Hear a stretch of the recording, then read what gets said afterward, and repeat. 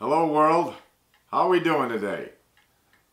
Well, I'm doing great, but the story I'm about to tell you, if this young lady is watching this, she might be a little bit embarrassed. Let me tell you why. I had to go to the corner drugstore, get in my car and drive up to the corner store and I'm at a light.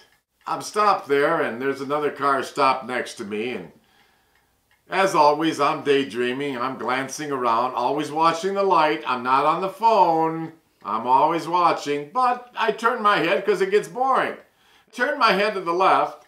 Here's this young lady looking in the mirror, talking on the phone, looking in the mirror, putting makeup on, and got a cigarette hanging out of her mouth. But let me tell you the best part. We're still sitting at the light because there's a funeral procession going by, which didn't bother me because I wasn't in a hurry. And some of these damn funeral processions, they got 90 cars in them. You should be so fortunate when you die to have 90 people show up for your funeral, by the way. Anyways, we're sitting there and I look over now. Well, the cigarette's gone. The telephone is off and down. The makeup is gone. But guess what? I'm looking at this nice young lady, I'm sure. Very attractive, very nice looking. And she knows it because she's still looking in her frickin' rearview mirror admiring her makeup. She's got her finger in her nose, digging a booger out of her nose while she's sitting there. And here I am looking directly at her.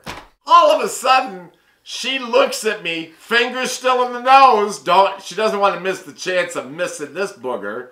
I take my finger and go like this to her, letting her know that I'm right in it with her, baby. I'm digging for mine too, which I wasn't doing.